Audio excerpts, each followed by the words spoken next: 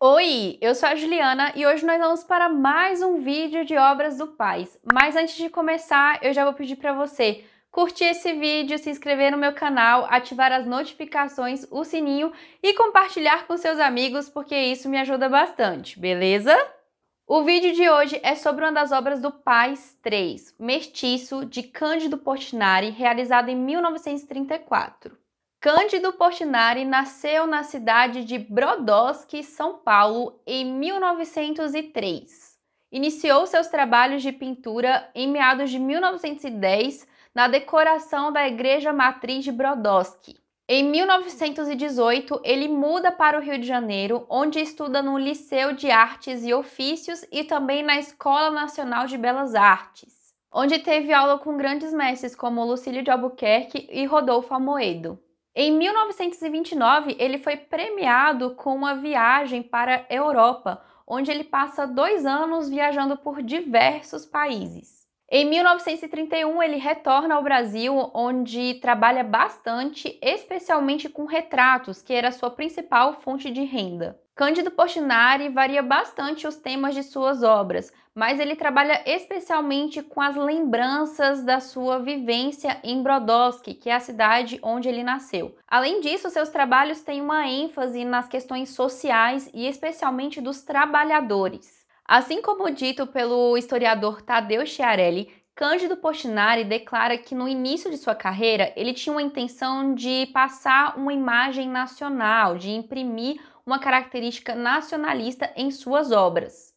E foi exatamente isso que Cândido Portinari conseguiu expor em seus trabalhos, essa questão da identidade nacional e moderna, muito também por influência das vanguardas europeias, especialmente pelo cubismo de Pablo Picasso.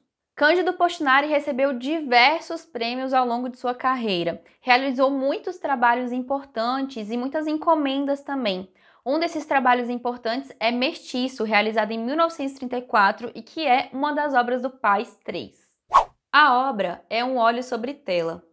Na tela encontra-se um homem em primeiro plano, com características de uma mistura racial, com o corpo grande, quase que monumental, com os braços cruzados e com as mãos em uma proporção um pouco maior do que deveria apresentar exemplificando a sua função como trabalhador.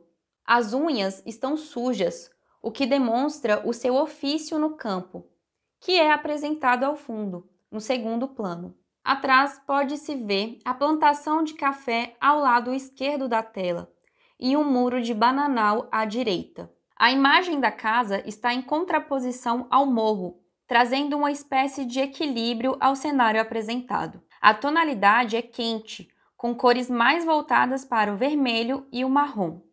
Sobre o tema exposto na obra, podemos observar uma problematização na romantização da colonização do Brasil, especialmente sobre o assunto da miscigenação da população, da mistura entre as raças. Justamente porque no século XIX existia uma tese chamada tese do branqueamento, que tinha como proposta de governo deixar o país menos negro barra indígena e mais branco. Essa tela feita por Portinari tornou-se um símbolo nacional, justamente por tratar dessa mistura racial, quase como uma afirmação étnica brasileira. Bom, pessoal, esse foi o nosso vídeo sobre essa obra do Paz 3. Espero que vocês tenham gostado desse vídeo. Todas as referências utilizadas estarão aqui na descrição. Curta, se inscreva no canal, ative as notificações do sininho para que você receba os meus próximos vídeos e seja avisado aí. Comente aqui o que você achou dessa obra e de outras obras que eu ando analisando aqui no canal, isso me ajuda bastante, eu gosto muito de ler os comentários de vocês. Me siga no Instagram, meu Instagram é Eu Conto a Arte, lá vocês vão encontrar muito mais sobre obras do pai, sobre o vestibular, sobre o UNB, Enem, história da arte e artistas falando de seus trabalhos. Vale a pena me seguir lá também e compartilhe com todos os seus amigos. Um beijo e até o próximo vídeo.